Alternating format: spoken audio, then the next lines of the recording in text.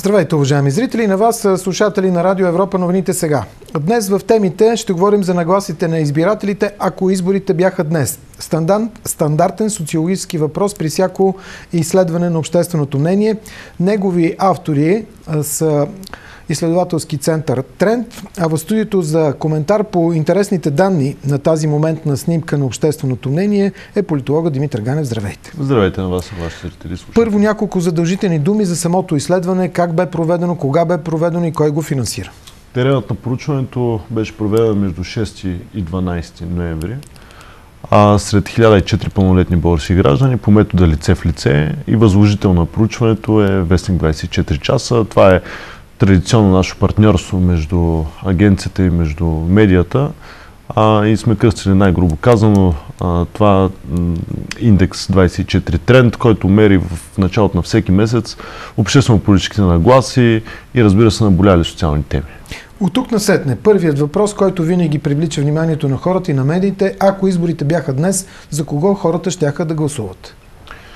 На първо място трябва да уточним, че за пореден месец нямаме структурна промяна в електоралните нагласи или, грубо казано, в подреждането на партиите.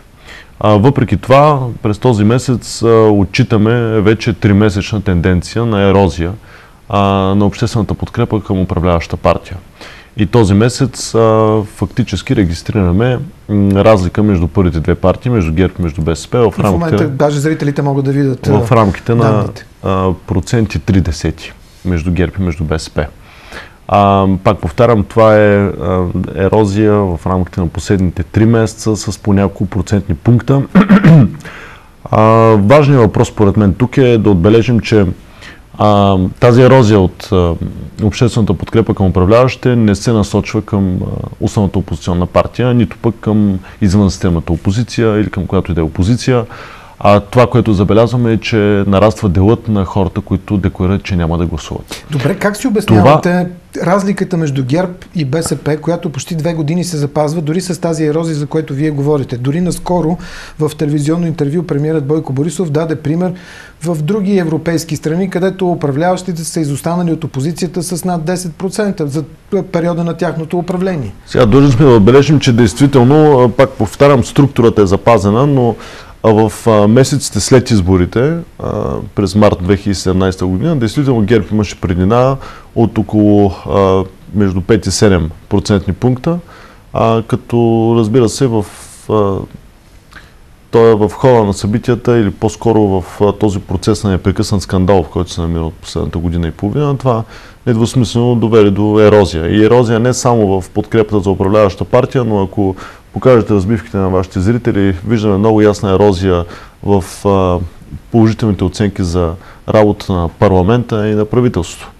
В интерес на истината, може би съм длъжен да отбележа все пак и по-надолу в структурата на електоралните нагласи. Друго, което прави впечатление е, че този месец отчитаме и малко над процент ерозия спрямо обществената подкрепа към Обединени патриоти.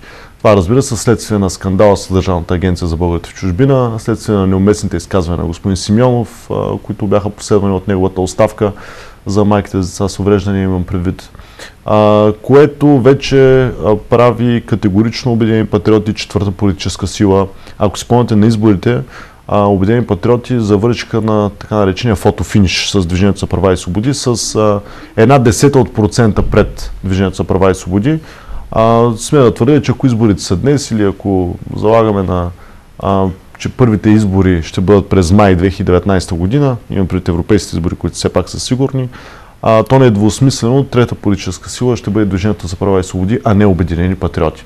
От тук нататък вече в таблица се подреждат партии, които а, за тях по-скоро ще бъде предизвикателство да преминат 4 бариера за Те разбирам ли, участие. че примерно парламентът, ако изборите бяха днес, ще ще да бъдат 4 партии?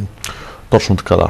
И пак повтарям, а, би било предизвикателство а, за други партии, огромно предизвикателство да преминат тази 4% бариера, като, разбира се, най-близки до нея са м- партиите, съставляващи а, Демократична България, извън системата, парламент, извън, системата, извън парламентарната, прощавайте, опозиция и политическа партия Воля на господин Марешки. Това са партиите, които най-вече се доближават до а, 4% бариера. И искам само да уточня тук нещо много важно. А, въпросът е зададен за парламентарни избори. А, първите избори, както вече уточнихме, които са насрочени и със сигурност ще се проведат. И то в цяла са, Европа, не само в цяла Европа са изборите за Европейски парламент. Но там бариерата е доста по-висока. 5,78 на 100 беше. 5,88, да. ако трябва да бъдем съвсем точни. А, което с категоричност може да твърдим, че а, това би това би било още по-голямо предизвикателство за тези партии. А, разбира се, това са и по-особени избори, избори, в които има традиционно по-ниска избирателна активност. А, няма да сгрешим да кажем, че това е най-ниската избирателна активност от всички избори в България. И това ще бъде по-скоро битка на твърдите ядра. Това, което виждаме като електорални стойности, не само от изследователски център Тренд, но и от други колеги, а, това до голяма степен не са твърдите ядра, а това са декларации за вод, които а, много често са завишени от реалното господаване. Така че а, на европейските избори ще видим една по-различна картина от тази, която представяме в момента пред вашите зрители. Длъжен съм да го уточня, като а, за да бъда максимално коректен към тях. Ако спомняте 14-та година, социологическите агенции а, се провалиха в, а, в прогнозата си за, за структурата на обществените нагласи. Причината беше именно тази. Добре, да, Ниското винаги, господаване. Да. Винаги тогава, когато се задават европейски избори, някои го причисляват този вод като едно своеобразно допитване на общественото мнение за управлението. О, несъмнено, да. А не толкова какви европейски проблеми трябва да се решават следващите 5 години в Европейския парламент. До голяма степен, ако спомняте 14-та година на европейските избори, а, тогава европейския вод не беше структуриран около дебата какво ще правят тези представители в Европейския парламент, а беше до голяма степен а, изкривен на база на това дали правителството на Решарски тогава и съставляващи го партии, подкрепящи го партии БСП и ДПС, ще имат по-висок резултат от този на основната опозиционна партия в лицето на ГЕРБ и тогава в новосформирания реформаторски блок. Тоест и тогава и сега изборите, които ни предстоят през 2019 година, несъмнено ще бъдат а, причислени а, или грубо казано а, ще минат през, пред, а, по този знаменател, дали това ще бъде вод на доверие или ще бъде вод на недоверие спрямо управляващото мнозинство в момента. Защото представете си, а, ако резултата в абсолютни стоености за БСП и за ДПС бъде по-висок от този на ГЕРБ и на Обединени, на Обединени патриоти, това недвусмислено би се прочел като вод на недоверие от страна на гражданите. Друг въпрос, който е важен, а, че вие казахте над 37% са заявили а, нежелание да гласуват. Може Декларират, ли, че няма да гласуват, да. Да. Можем ли да кажем, че това е резерв на една бъдеща политическа сила, такива формации, които а, все още не са създадени, се говори се за тях, да почерпат електорат от тези над 37%? Съвсем коректно е наблюдението. Да, така е а, защото пак се връщам в началото на разговора, тези, които, тези, които оттеглят подкрепата си от управляващите формации, от ГЕРБ и от Обединени патриоти, а, отиват именно в партия на негласуващи. А, този по-висок дял на негласуващи недвусмислено ще търси някакъв тип альтернатива, нова, която не намира в сегашния естаблишмент и в сегашните опозиционни партии. А, обществена поръчка, грубо казано, и търсене за такъв нов субект има.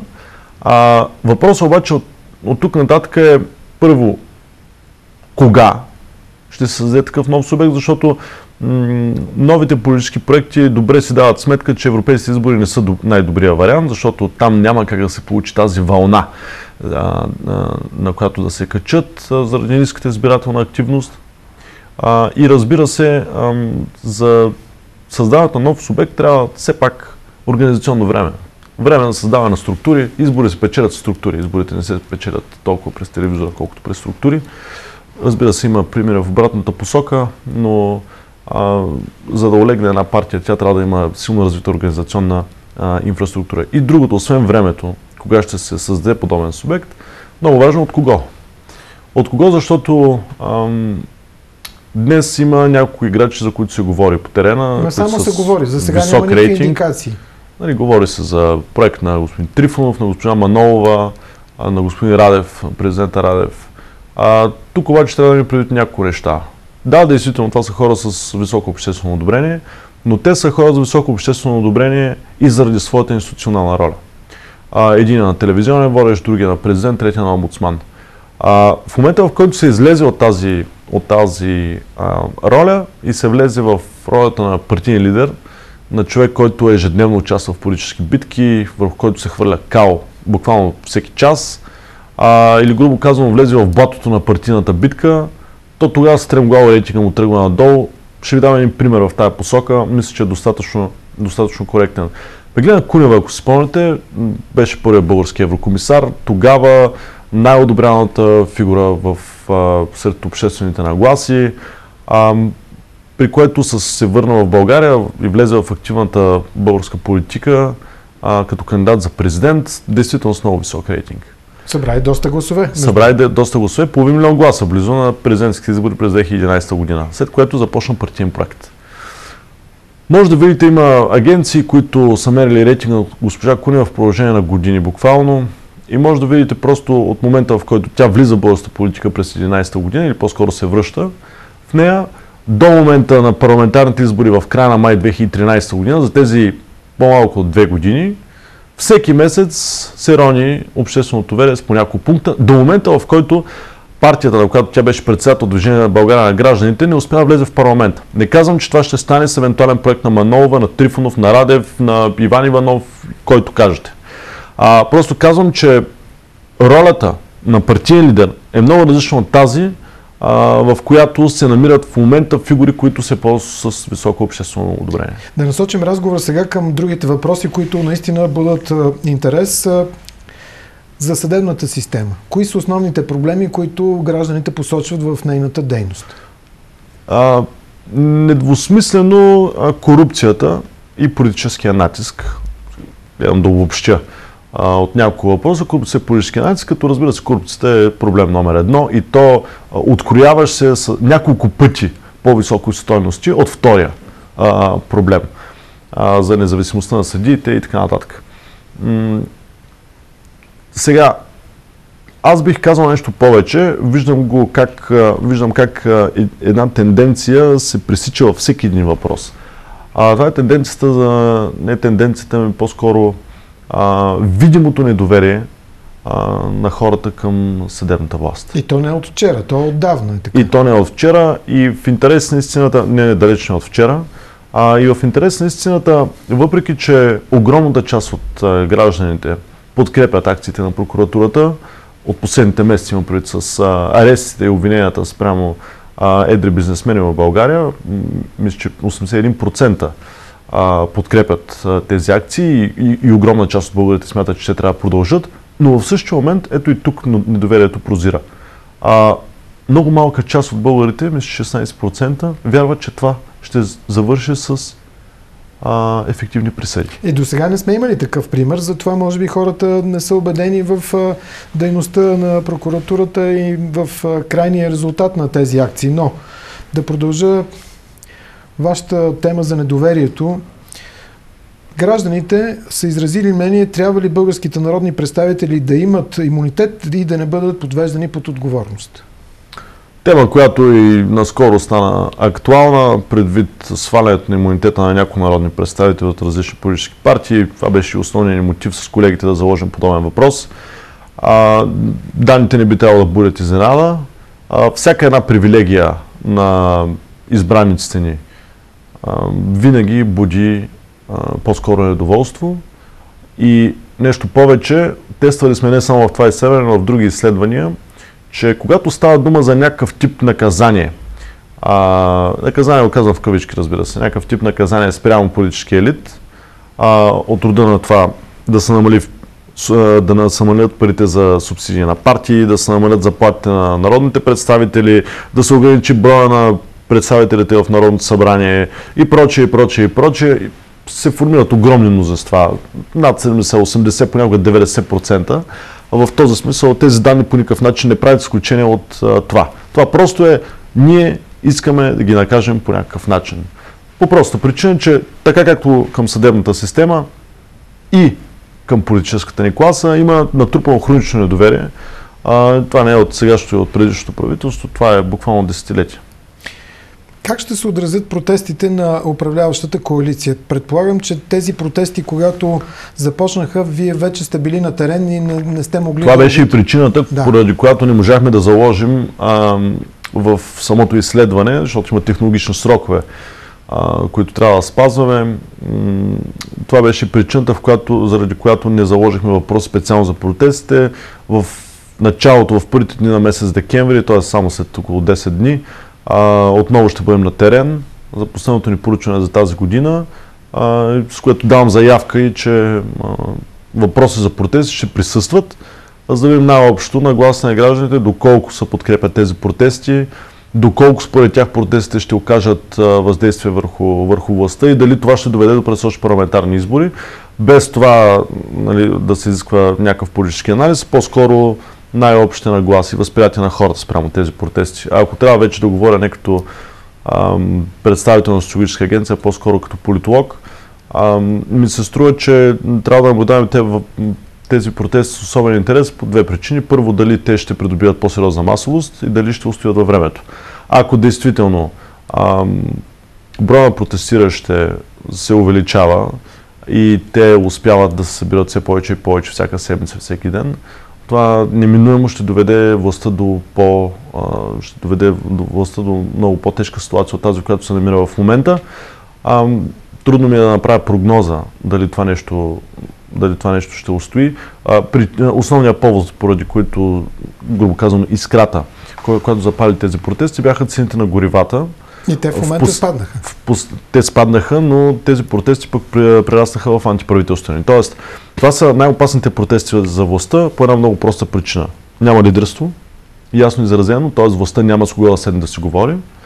А, и второ, разбира се, което по никакъв начин не трябва да се подценява, е, че те нямат конкретни искания. А защото ако имаха конкретни искания, тогава можеше да се излучи някакъв някакъв тип представителство на тези протестиращи, което да влезе в някакви преговори с властта. Затова казвам, че тези протести са най-опасни, защото другите протести какви са? Другите протести са на определени социални групи. Дали полицаите, дали надзирателите, дали майките на деца с увреждания и прочие социални групи или професионални групи, те излъчват свои представители, тези представители сядат с, в диалог с властта, съответно да видят дали могат да се удовлетворят техните искания. Сегашната ситуация е различна. Това е Последен въпрос с кратък отговор. Каква е вероятността за изваредни избори с оглед на това, което вие сте получили като емпирични данни и с оглед на протестите? Пак казвам, зависи от развитието на протестите, но властта има все още ходове, с които да покаже някаква сила. Защото основният проблем сега на правителството е, че изглежда немощно, че не изглежда силно. Властта все още има а, ходове в посока на това да покаже някаква сила. Това може да стане чрез създаване на някакъв тип позитивен дневен ред, който отсъства, някакъв, някаква нова политическа линия. А доколкото и четах миналата седмица интервюта на народните представители от ГЕРБ, Георги Марков и Тома Биков, се обсъжда в средите на ГЕРБ съответно така наречен контрапротест. ГЕРБ има организационните възможности да свика един такъв протест и това би било, би било ясен знак на сила от страна на ГЕРБ, защото в момента има едно, една мълчалива група, която съвсем не е малка и по изследването си личи, това са 1 милион души, които подкрепят политическа партия ГЕРБ. А, тя в момента мълчи, не изразява своето, своето мнение а, на улицата, нито пък а, силно по някакъв начин. А, и това би било един, една възможност да се покаже, че има не само протестиращи, но има хора, които смятат, че тази власт трябва да остане. Благодаря ви за този разговор и за тези данни, които представихте на зрителите на темите. Димитър Ганев от изследователски център Тренд. Така завършва тази част. След малко ще продължим пак с разговори по актуални политически теми в студиото.